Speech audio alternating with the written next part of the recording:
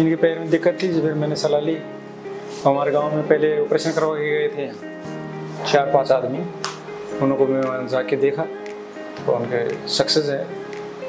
बार बार मैं डेढ़ डेढ़ साल हो होगी कोई छः महीने हो गए किसी दो महीने हुए ठीक है शिव चला नहीं जाता था।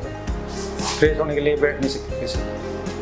यही प्रॉब्लम था। आया था, फिर वहाँ काउंटर पे बात की। काउंटर पे बात करने के बाद डॉक्टर साहब आए, हैं यहाँ फंसे फिर मेरे को अंदर जाके डॉक्टर साहब से मेरे से मिलवाया, फिर मैंने बात की मुझसे डॉक्टर साहब, ये समस्या है। ठीक है भैया कैसे ठीक हो जाएगी? ऑपरेशन कराओ जोड़ों में गैप है, इस वजह से आपकी दिक्कत है।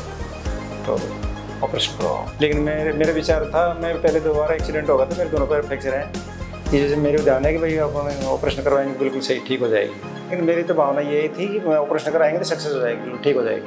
हाँ कहाँ मतलब उनको मैं ये सलाह दूँगा कि साहब कि मतलब आप एक्सरे वगैरह करवाओ, जाँच करवाओ, पहले उसके बाद डॉक्टर साहब से सलाह लो, फिर राय देंगे वो, भाई क्या क्या, कैसे, क्या करना है तो आप ठीक हो जाओगे ऑपरेशन करवाओ